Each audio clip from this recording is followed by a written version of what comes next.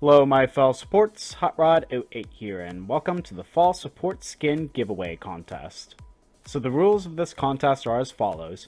You must comment on this YouTube video before 10 p.m. Eastern Standard Time on September 21st with your League Legends username, your server which must be either on North American, EU West, BR, or OC servers, who your first support champion was that you mained, and why as a bonus, and what skin you'd like to be gifted. A few quick notes to this, you can choose any support champion skin in the game for 1350 RP or below, you must own that champion already for obvious reasons, and you don't have to be subscribed to the channel to enter the contest, but it would be awesome if you would. Finally, the results will be streamed live on YouTube at 10.15 p.m. Eastern Standard Time on September 21st, so join us at that time to watch the dice be rolled and see who will win the contest.